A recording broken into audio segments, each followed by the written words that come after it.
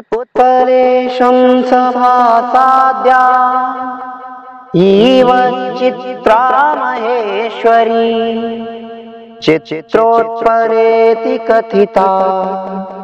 सर्वपाप प्रणाशिनी नमस्कार, मैं त्रिनाथ राणा चित्रोत्पला की धारा चलचित्र श्रृंखला की 27वीं कड़ी में आपका स्वागत है। मित्रों, इस श्रृंखला की पिछली कड़ी में हमने आरंग में विराजमान माता महामाया जी के दर्शन किए। आज की इस कड़ी में हम आरंग में ही विराजित भगवती दुर्गा एवं देवी शीतला मैया के दर्शन करेंगे।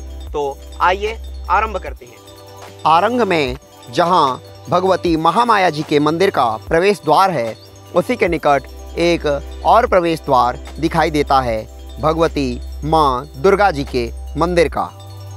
भगवती दुर्गा जी का यह मंदिर देवी महामाया मंदिर के ठीक समक्ष कुछ ही दूरी पर स्थित है।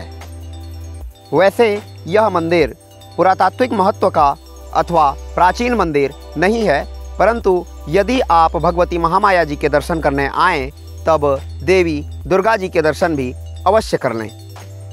यह मंदिर आधुनिक शैली में निर्मित है एवं इसके भीतर श्वेत प्रस्तर निर्मित कुछ अत्यंत सुंदर प्रतिमाएँ स्थित हैं। मंदिर को भीतर से कांच के टुकड़ों से सुंदर ढंग से सुसज्जित किया गया है।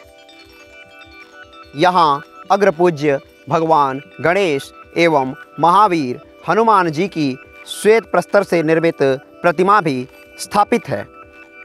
उत्तराभिमुखी इस मंदिर के गर्भगृह को अत्यंत सुंदर ढंग से सुसज्जित किया गया है, जिसमें भगवती दुर्गा मैया की श्वेत प्रस्तर से निर्मित एक अत्यंत सुसज्जित प्रतिमा स्थापित की गई है। जय माता की।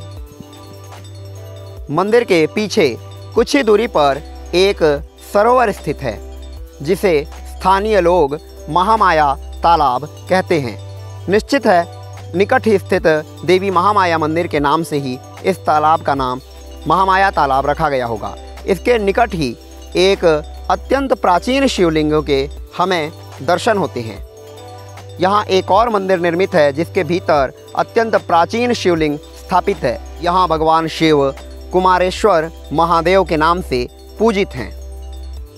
अब आइए यहाँ से चलते हैं शीतला पारा महामाया मंदिर से कुछ ही दूरी पर शीतला पारा में भगवती आदिशक्ति शीतला मैया जी का यह सुंदर मंदिर निर्मित है।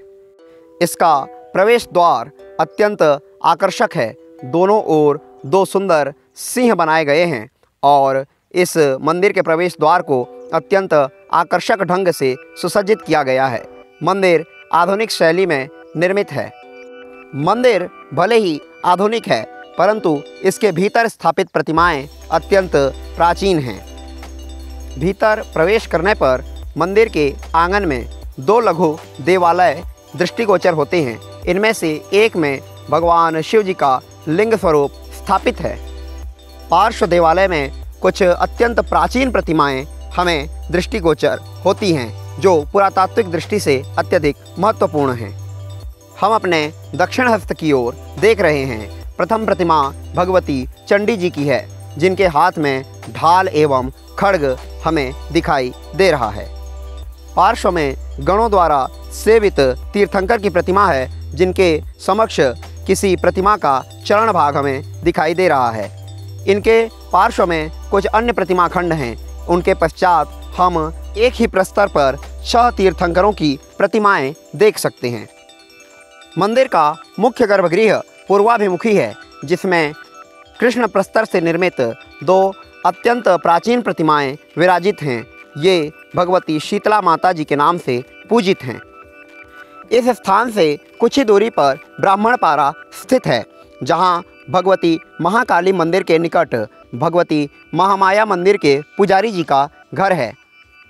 श्री चंदन गोस्वामी जी, जिनका परिचय हम पूर्व चलचित्र में दे चुके हैं, उनके घर के निर्माण के समय कुछ अत्यंत प्राचीन प्रस्तर प्रतिमाएँ यहाँ प्राप्त हुई, जिनका हम अवलोकन करेंगे। आँगन में खुदाई के समय ये प्रतिमाएँ प्राप्त हुई हैं। इनमें हम कुछ नायिकाओं को विभिन्न मुद्राओं में देख सकते हैं। इनमें से एक नायिका अपने शरीर पर सर्प को लपेटी हुई है। सर्प काम का प्रतीक है और नायिका वस्त्रहीन है।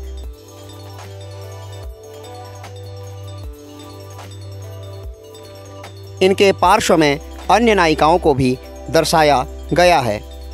इनके पार्श्व में कुछ और प्रतिमाएँ भी दृष्टिगोचर होती हैं। संभवतः ये किसी द्वार शाखा के भाग हैं। इन दोनों प्रतिमा खंडों के पार्श्व में एक और वास्तुखंड है, जिसमें मैथुन का एक दृश्य दिखाया गया है। पूर्व के वास्तुखंड द्वार शाखा के भाग हो सकते हैं। यह अन्यत्र किसी स्थान का भाग है। इन्हीं के आँगन में एक अत्यंत प्राचीन शिवलिंग स्थापित है। आरंग में प्राप्त अन्य शिवलिंगों के समान यह शिवलिंग भी पुरातात्विक महत्व की दृष्टि से महत्वपूर्ण है। इन्हीं के पार्श्व में कुछ अन्य अत्यंत प्राचीन प्रस्तर प्रतिमाएँ भी यहाँ संरक्षित की गई हैं, यथा भगवान ऋषिह की यह लघु प्रतिमा। इस प्रकार आरंग में यत्र तत्र प्राचीन प्रतिमाओं का मिलना इस तथ्य को सिद्ध करता है कि प्राचीन काल में आरंग का प्रत्येक घर एक मंदिर हुआ करता था। इस प्रकार आज के इस चलचित्र में हमने आरंग में स्थित अनेक प्राचीन प्रतिमाओं का अवलोकन किया। आगामी चलचित्र में हम चलेंगे सिरपुर। तो बने रहिए हमारे साथ। वीडियो को देखने के लिए आपका बहुत बहुत धन्यवाद।